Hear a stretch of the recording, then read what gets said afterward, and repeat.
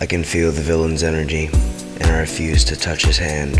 In the presence of money, I feel his soul, and in the presence of banks, I feel his vault of a heart. The idea of the system touching my skin makes it crawl and regurgitate oppression. The prestige makes my eyes bleed, and I feel like I am in the presence of the puppeteer, the engineer, of the greatest showman when I feel the clean, sharp surface of the nice new business card. I feel dirty, and I feel the mind of the system using the strategy of shiny, happy things, manipulating your heart into place, employing you in exchange for spiritual prostitution.